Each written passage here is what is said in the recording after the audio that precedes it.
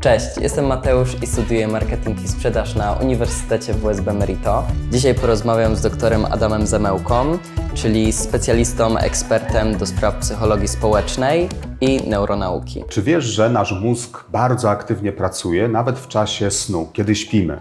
Faktycznie podczas fazy snu głębokiego dochodzi do takiego zjawiska, które nazywamy konsolidacją wspomnień. To, czego doświadczymy w czasie dnia, jest następnie zapisywane i utrwalane w czasie nocy w naszej korze mózgowej, która bardzo aktywnie współpracuje z rejonami położonymi trochę niżej, a więc zapisuje informacje, które przyswoiliśmy, albo też takie wspomnienia z reakcji, relacji, interakcji z innymi ludźmi. Przed jakimi wyzwaniami stoi dzisiaj neuronauka? Neuronauka można byłoby powiedzieć, że ma bardzo wiele do roboty. E, Mamy świat coraz bardziej złożony, a więc świat, w którym nasze mózgi muszą dawać sobie radę, choć nie są do tego ewolucyjnie przystosowane. Mamy świat, w którym występują już nie tylko ludzie i nie tylko zaawansowane środki, chociażby takie jak transport, budownictwo, ale mamy też coraz więcej technologii, w tym technologii e, ze sztucznej inteligencji, a więc nasz mózg musi radzić sobie w świecie, w którym występuje więcej aktorów, więcej wyzwań i musi do tego świata w jakiś sposób się adaptować,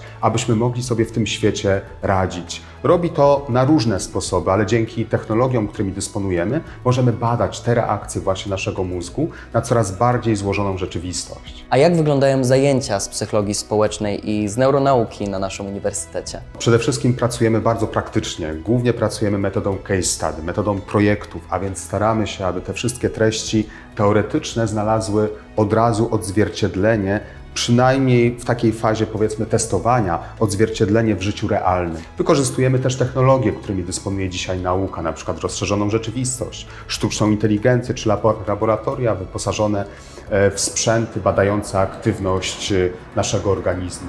W jaki sposób neuronauka i psychologia społeczna zmieniają świat? One pozwalają i pomagają nam zrozumieć lepiej siebie i innych. Rzeczywiście dzięki neuronauce, poprzez jej zaawansowane technologie, chociażby takie jak funkcjonalny rezonans magnetyczny, zyskujemy wgląd w to, co dzieje się aktualnie w czasie rzeczywistym, w danym momencie w ludzkim mózgu, na przykład w reakcji na konkretny bodziec. To jest niezwykle pomocne, gdy chodzi o badania nie tylko mające zastosowanie w medycynie, ale na przykład też badania marketingowe, bo możemy zobaczyć, jak mózg potencjalnych konsumentów reaguje na produkt czy usługę. Inna sprawa to integracja neuronauki i psychologii społecznej. Do tego dochodzi w ostatnich de- dekadach. Mamy nawet taką no, powiedzielibyśmy dyscyplinę czy pogranicze dyscyplin jak neuronauka społeczna, a więc badanie mózgów w interakcji z innymi ludźmi, co się w nas dzieje, co się realnie dzieje w naszym mózgu, a więc zrozumienie także nas w kontekście społecznym to jedno z większych wyzwań i neuronauki i psychologii społecznej. A jakie umiejętności zdobędą absolwenci naszego uniwersytetu po takich zajęciach? O, ja myślę, że przede wszystkim zdolność krytycznego myślenia, ale też odsiewania prawdy od fałszu.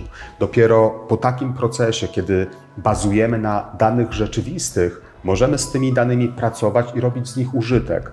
Możemy wykorzystywać technologię, wiedzę o układzie nerwowym człowieka, o interakcjach społecznych w szeregu dyscyplin, w szeregu obszarów życia społecznego i życia gospodarczego, w neuromarketingu, w neuropsychologii, w psychologii klinicznej, w psychologii w biznesie, w szeregu dyscyplin, ale rzeczywiście do tego potrzebna jest taka umiejętność bazowa, jak odsiewanie ziarna od plew, prawdy od fałszu. To i wiele więcej o psychologii społecznej i neuronauce możesz dowiedzieć się na Uniwersytecie WSB Merito. Do zobaczenia.